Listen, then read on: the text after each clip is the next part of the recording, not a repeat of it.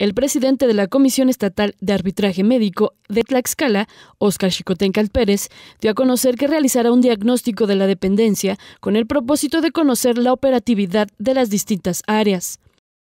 Estamos conscientes de la importancia de la Comisión Estatal de Arbitraje Médico en la relación que tienen los ciudadanos con los sistemas de salud y estamos iniciando ahorita para hacer un diagnóstico situacional de cuál es la situación de la comisión y cuál es la visión que nosotros le tenemos que dar más adelante para que esto pues, siga siendo útil para la sociedad.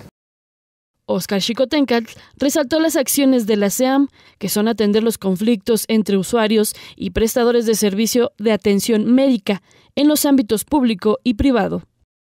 Y la parte del sector salud en relación a la calidad de la atención eh, es uno de los pilares de los que creo que tiene muy en mente la gobernadora y nosotros venimos para contribuir en esa parte. Estamos retomando los pendientes que se tienen para tratar de que le demos continuidad y no se pierda lo que ya la comisión hasta ese momento ha venido logrando. Por otro lado, señaló que en breve realizará un recorrido por las unidades médicas a fin de establecer trabajos de coordinación. Ahora Noticias, Belén Rodríguez.